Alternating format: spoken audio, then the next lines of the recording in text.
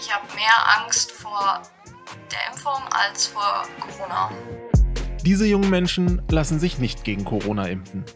Ich finde einfach, es ist nicht die Lösung zu sagen, okay, ich fühle mich unwohl dabei, äh, ich impfe mich jetzt, damit andere zufrieden sind. Ich bin geimpft. Die meisten meiner Freunde auch. Nach meiner ersten Impfung habe ich sogar ein Foto auf Instagram gepostet. Aber fast jede dritte Person in Deutschland ist nicht geimpft. Ich finde, es ist schwierig, ja, darüber zu sprechen. In diesem Film lerne ich ungeimpfte Menschen aus ganz Deutschland kennen. Das passieren müsste, damit ich mich impfen würde, der Zwang müsste weg. Wenn vielleicht da Langzeitfolgen auftreten, wer kümmert sich um meinen Sohn? Ziemlich umstrittenes Thema. Wir haben lange überlegt, ob wir diesen Film machen sollen.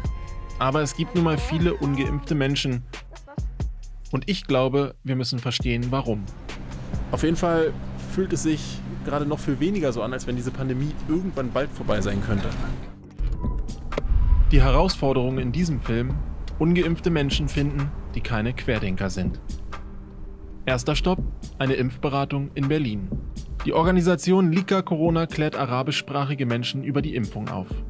Einer der Gründer ist der Arzt Omar Kamal Edin. Auch Khaled, der hier als erstes reinkommt, gehört zur Organisation. Aber eigentlich geht es um ihn hier. Johannes.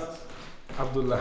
Wie ist denn die Regel? Jetzt machen wir alle Maske oder wie, wie sind denn die Regeln? Ich bin gerade äh, auch gar nicht so 100 Prozent. Am besten, oder? Wir sind geimpft außer er. Also wir sind alle geimpft außer du. Deshalb ist er heute hier, zur Impfberatung. Wenn er sich für die Impfung entscheidet, bekommt er sie gleich. Abdullah ist 35 und erzählt, nur sein Vater hat bisher die erste Impfung. Der Rest der Familie ist noch ungeimpft.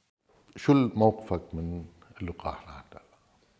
قريت كتير عن اللقاحات طولت آه، فترة تجربتها لبين ما نجحت وصارت إنه تنعطى للبشر ب ب ب يعني بشكل عام هي عشر سنين. هو ك هذا كان ال- ال- الخوف من من اللقاح نفسه يعني. اعتبار فترة قصيرة.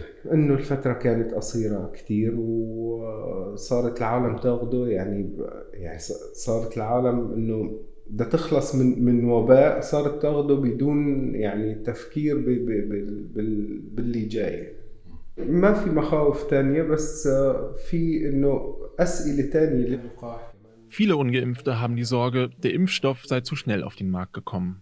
Das ist aber schnell erklärt. Der Corona-Erreger ähnelte anderen Viren, die schon gut erforscht waren.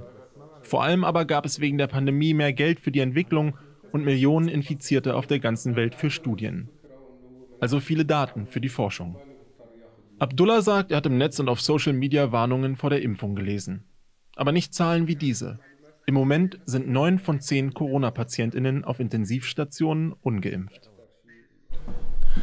Das Beratungsgespräch läuft noch. Ich bin gerade mal ins Nebenzimmer gegangen und finde schon krass, dass der Mann eben, weil er nicht so richtig gut Deutsch spricht, überhaupt nicht an die richtigen Informationen kommt über die Impfung. Und so ein bisschen vergessen wurde bei der ganzen Sache.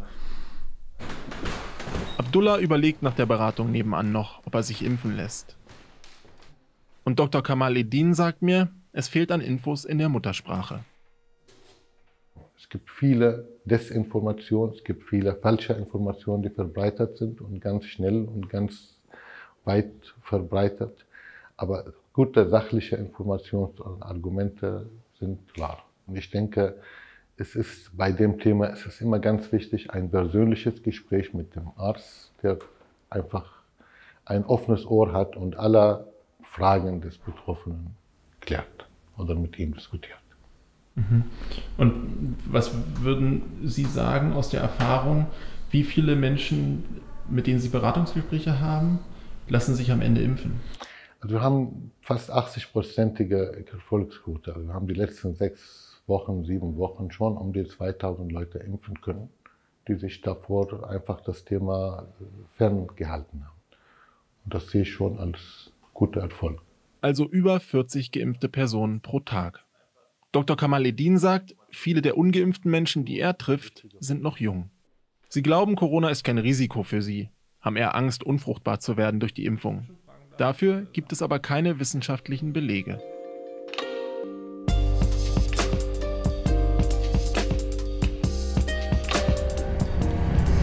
bin gerade unterwegs nach Hamburg und wie meist eigentlich bei unseren Recherchen mit dem Zug. Es wurde ja immer wieder diskutiert, dass das bald nur noch für 2G möglich ist, also Geimpfte und Genesene. Das würde auch heißen, dass die Person, die ich jetzt treffe, dann nicht mehr Zug fahren könnte. Und das ist sie, Selina, 21 Jahre, wohnt in einem Ort außerhalb von Hamburg. Warum sie sich nicht impfen lässt, darüber reden wir gleich. Erstmal suchen wir ein Testzentrum. Wenn man da rausgeht und dann irgendwo da vorne müsste das sein, denke ich mal. Die Maske können wir, glaube ich, abnehmen, oder? Also, denke mal schon. Ah, da ist sie schon, perfekt. Wir wollen in ein Restaurant gehen. Dafür braucht Selina noch einen Test. Einmal A, Ah, richtig A. ah, Das war's schon. gut, danke. In circa 20 Minuten bekommen Sie ja jedes per Mail zugeschickt. Okay, alles klar, perfekt. Die Mitarbeiterinnen der Teststelle erklären mir, vor einem Monat haben die Leute an einem Tag wie heute Schlange gestanden. Inzwischen kommen nur noch wenige. Danke gleichfalls. Tschüss. Auf der anderen Straßenseite ist Selinas Lieblingsrestaurant. Aber darf sie überhaupt rein? Habt ihr 2G oder 3G? Also kann ich mit Tests hier drinnen sitzen? Wir lassen jeden rein. Okay, Fehlt nur noch das Testergebnis. negativ. Ja. Also ich kann das ja mal zeigen, ohne das. Hamburg hat als erster Ort in Deutschland 2G eingeführt. Heißt, in viele Läden kommen nur noch Geimpfte und Genesene. Dann gilt keine Sperrstunde mehr, auch kein Mindestabstand zwischen Gästen. Manche bleiben bei 3G, so wie dieses Restaurant. Wann war denn das letzte Mal, dass du hier in so einem Laden drin warst? Genau, also in Hamburg ist es schon ewig her, dass ich im Restaurant war. Aber bei mir äh, in der Stadt ungefähr einen Monat, anderthalb vielleicht. Okay. Ja. Und ja auch eher unwahrscheinlich, dass sich das jetzt bald ändert. Ja, leider. Also habe irgendwie auch das Gefühl, dass es eher bergab als bergauf geht, aber ja, zumindest für Ungeimpfte. Also ich denke, ähm, dass das irgendwie ja, auf der Strecke bleibt gerade. Leider. Selina sagt, die meisten Personen in ihrem Freundeskreis sind geimpft. Und warum sie dann nicht? Also es gibt da tatsächlich mehrere Gründe, die für mich dazu geführt haben, dass ich es erstmal nicht mache. Ähm, der Hauptgrund ist aber auf jeden Fall, äh, dass man gar nichts über die Langzeitfolgen weiß. Also es gibt ja nicht so wie bei anderen Impfungen irgendwelche Langzeiterfahrungen. Was hat das vielleicht später für Auswirkungen noch? Ähm, und das ist schon eher der Hauptfaktor für mich. Also diese Ängste, was das angeht. Aber es ist auch so. Seit knapp einem Jahr werden Menschen geimpft. Bisher sind es weltweit 2,4 Milliarden. Laut Projekt Our World in Data. Kannst du vielleicht verstehen, dass da manche Leute krass genervt von sind, dass sie sagen so, oh, wir haben einfach keinen Bock mehr auf diese Pandemie, können wir endlich mal alle impfen und dann ist wieder, wieder normal? Äh, ja, tatsächlich. Also ich selber bin auch genervt von der Pandemie. Ähm, aber ich finde einfach, es ist nicht die Lösung zu sagen, okay, ich fühle mich unwohl dabei, äh, ich impfe mich jetzt, damit andere zufrieden sind. So, das ist für mich halt ähm, ja, meine Meinung dazu. Selina sagt, sie hat schon Angst, an Corona zu erkranken. Aber sie ist ja noch jung. Die Langzeitfolgen der Impfung machen ihr mehr Sorgen. Besonders, weil sie seit acht Monaten Mutter ist. ich bin alleinerziehend. Was ist, äh, wenn vielleicht da Langzeitfolgen auftreten? Wer kümmert sich um meinen Sohn? Also was ist dann mit meinem Sohn? So, das ist halt auch nochmal so ein Faktor. Wäre ich jetzt vielleicht äh, alleinstehend in der Pflege oder so tätig, würde ich vielleicht auch nochmal anders denken. Aber gerade was diese familiären Aspekte angeht, ist die Angst schon vorhanden irgendwie. Und was, wenn sie Corona bekommt? Also ich habe mir viel mehr Sorgen darum gemacht, als um mögliche Langzeitfolgen der Impfung. Nochmal, gerade sind neun von zehn Corona-Patientinnen auf Intensivstationen ungeimpft. Wir ziehen weiter. Selina hat übrigens auf einen Aufruf an unsere Community geantwortet. Wir hatten nach Ungeimpften gesucht. Hunderte haben sich gemeldet. Die meisten unter 30. Viele denken wie Selina, sagen, dass sie wegen möglicher Langzeitfolgen noch ungeimpft sind und doch gar nicht zur Risikogruppe gehören. Vor der Kamera darüber sprechen wollen sie lieber nicht, wollen nicht als Querdenker dastehen. Selina ist eine der wenigen, die offen mit mir redet. Naja, Da kommst du jetzt nicht rein. ja. Nur für Geimpfte und Genesene. Beides bin ich nicht. Ja, aber nervt dich das dann?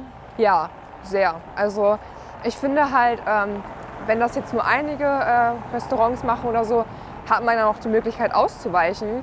Aber wie wir gerade sehen, äh, ist es ja doch recht verbrei äh, weit verbreitet, dass irgendwie 2G hier herrscht. Mittlerweile haben noch weitere Bundesländer die 2G-Regel eingeführt, unter anderem Berlin, Niedersachsen und Baden-Württemberg. Also gehen wir einfach zu einem Kiosk. Dankeschön, danke, danke. Wann wäre so der Punkt, wo du sagst, ähm, ja okay, mache ich, lass mich impfen? Ähm, erst, wenn es wirklich auch Langzeiterfahrung gibt. Also da müssen jetzt keine zehn Jahre vergehen, ne? aber erst wenn man wirklich in einem Jahr gucken kann, okay, was ist bis jetzt passiert? Hat es wirklich was gebracht? Ähm, wie geht es den Menschen, die geimpft wurden? Einfach solche Erfahrungsberichte fehlen mir persönlich. Selina sagt ganz klar, sie ist keine Querdenkerin. Ich möchte meine Meinung sagen, aber gleichzeitig halt versuchen, es nicht ganz so äh, provozierend rüberzubringen, sagen wir so. Könnte man zusammenfassend sagen, du willst, dass die Leute dich verstehen, Richtig. aber nicht hassen. Sozusagen. Also ich, ich möchte einfach nur ähm, ja, Akzeptanz, sagen wir so. Also ich akzeptiere andere Meinungen total. Ich kann auch gerne mit Kritik umgehen oder Gegenargumenten, äh, aber ich möchte einfach, dass diese Offenheit vor der Kamera nicht noch runtergemacht wird, sage ich mal. Wie viel von der ganzen Sache ist denn so, dir fehlen Fakten und wie viel ist auch einfach so ein, weißt du, so ein Gefühl, Ja. sich nicht wohlzufühlen? Ähm, ich denke, es ist Hälfte, Hälfte, kann ich ehrlich sagen. Also es ist wirklich einfach, dass mir Langzeitfakten fehlen, aber eben auch generell einfach das Gefühl, dass ich für mich persönlich im Moment dagegen bin. Also ich frage mich nach dem Gespräch mit Selina gerade, geht es hier wirklich um Fakten und um fehlende Fakten oder geht es eigentlich vor allen Dingen um ein Gefühl? Und ist das wirklich das richtige Argument in so einer Pandemie, wo es eben darum geht, so viele Leute wie möglich zu impfen? Wo es eben um Biologie geht und um ein Virus und eigentlich nicht um Gefühle?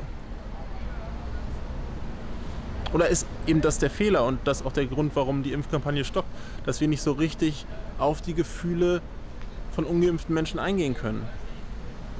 Dass wir denen nicht richtig zuhören? Also hören wir ihnen doch zu. Aus unserer Community bekommen wir Selfie-Videos. Die Gründe gegens Impfen völlig unterschiedlich. Ich bin Millig, ich bin 24 Jahre alt und arbeite als Softwareentwickler. Ich bin stand jetzt nicht geimpft und bin auch gleichzeitig kein Impfgegner. Ich bin 23 Jahre alt, habe eine schwere chronische Erkrankung. Die Wahrscheinlichkeit, dass der Impfstoff mich umbringt, ist wesentlich höher, als dass ich da einen Nutzen von tragen würde. Ich habe mich nicht impfen lassen, weil ich für mich keinen großen Nutzen drin sah, da ich weder mit Kranken noch mit Vorkranken und alten Menschen zu tun habe. Mittlerweile ist es eher eine Art Auflehnen gegen den, gegen den übermäßigen öffentlichen Druck, der aus allen Richtungen kommt. Die Leute hören irgendwie, oh nein, äh, Ann-Sophie lässt sich nicht impfen. Dann ähm, muss sie auch bestimmt ein Querdenker sein und einen Aluhut tragen und Impfen im Allgemeinen verteufeln. Nein, das tue ich nicht. Und ich finde es auch wirklich schade, dass man, wenn man zum Beispiel seine Skepsis zu diesem Thema Impfen äh, in der Gesellschaft äußert, dass man sofort als Querdenker oder als etwas anderes abgestempelt wird. Das passieren müsste, damit ich mich impfen würde. Der Zwang müsste weg. Es sollte kein Druck herrschen, äh, der mich dazu verleitet, äh, mich impfen zu lassen.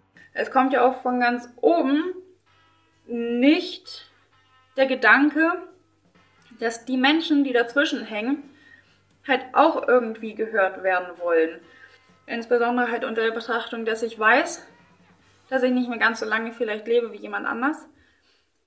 Manche der Gründe kann ich nicht nachvollziehen, dass man sich aus Trotz nicht impfen lässt. Was ich aber verstehen kann, Menschen, die sich wegen Vorerkrankungen nicht impfen lassen können. So wie Ann-Sophie mit der Autoimmunerkrankung eben. Oder weil sie Spritzenphobien und Angststörungen haben. So wie Katrin. Mit ihr bin ich zum Videocall verabredet. Hallo! Wenn du hier was schnarchen hörst im Hintergrund, dann ist das. Katrin ist nicht ihr richtiger Name. Sie spricht nur anonym mit mir, weil sie Angst hat, sonst Probleme im Beruf zu bekommen. Ihre genaue Arbeit sollen wir lieber nicht nennen. Was wir aber sagen können, sie studiert und arbeitet in einer Einrichtung mit jungen Menschen. Warum bist du immer noch ungeimpft? Ähm, ja, also ich habe natürlich auch lang drüber nachgedacht, ob ich mich impfen lassen soll oder nicht.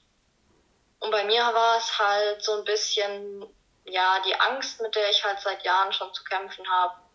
Ähm, also ich habe eine leichte Hypochondrie und eine Angststörung. Mittlerweile bekomme ich das Gott sei Dank ganz gut hin. Also ich habe die Angst ganz gut im Griff. Und die Impfung würde das halt nochmal extrem verstärken. Also ich habe dann auch extrem Angst, dass, dass ich danach wieder Panikattacken bekomme. Aber ist jetzt nicht so, dass du so Corona auf die leichte Schulter nimmst? Äh, nee. Also das auf keinen Fall. Also ich bin auch, ich finde Impfungen gut und ich finde es auch super, dass das so viele ähm, Menschen machen. Und ich würde mir natürlich auch wünschen, dass ich irgendwo mich einfach impfen lassen könnte, ohne dabei dieses äh, Gefühl zu haben, da ich, dass ich das irgendwie nicht kann, dass da irgendwie was für mich nicht richtig ist. Also Katrin erzählt mir, sie will ihre psychische Störung behandeln lassen. Aber weil sich eine Therapie negativ auf ihren Beruf auswirken könnte, hat sie das bisher nicht getan. Wir sind jetzt ja an einem Punkt der Pandemie, wo relativ viele Leute schon geimpft sind und man fällt so ein bisschen auf, wenn man ungeimpft ist. Wie geht dir das denn? Ich finde, es ist schwierig, wenn man ungeimpft ist, ähm, ja, darüber zu sprechen. Also man weiß halt nicht, ähm, wie andere äh, reagieren, ob andere vielleicht äh, ja, einen überhaupt verstehen. Ähm, und man hat auch eigentlich gar nicht immer so die Kraft dazu, es immer allen zu erklären.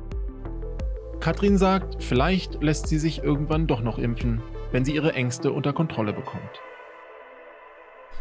Abdullah hat jetzt eine Weile nachgedacht und sich entschieden und ich gehe mal nachfragen, ob er sich impfen lässt oder nicht. So, hast du, hast du dich entschieden? Ähm, noch nicht. Äh, Abdullah ist nervös. Er antwortet lieber auf Arabisch. بدي أسوي تحليل دم آم، وأشوف المناعة بجسمي بالأول آم، ومن بعدها بنقرر يعني إذا كانت النسبة عندي ضعيفة فلازم يعني لازم أخذ لقاح Mit dem Blut kann der Arzt bestimmen, ob Abdullah schon Corona hatte. Dann hätte er ausreichend Antikörper. Kurz vor Veröffentlichung kommt das Ergebnis. Abdullah hatte tatsächlich schon Corona, ohne es zu merken. Er bekommt eine Bescheinigung, dass er genesen ist und muss sich erstmal nicht impfen lassen. Am Ende habe ich gelernt, es gibt viele Gründe, warum sich Menschen nicht impfen lassen. Ich kann nicht alle verstehen, finde es aber wichtig, sie zu hören. Denn zuhören, das tun wir viel zu selten. Könnt ihr nach dem Film verstehen, warum sich Menschen nicht impfen lassen? Oder seid ihr selbst noch ungeimpft? Dann schreibt es gerne in die Kommentare. Und für alle Crime-Fans haben wir noch den Funkkanal Der Fall verlinkt. Schaut da auch gerne mal rein. Und wir sehen uns beim nächsten Film.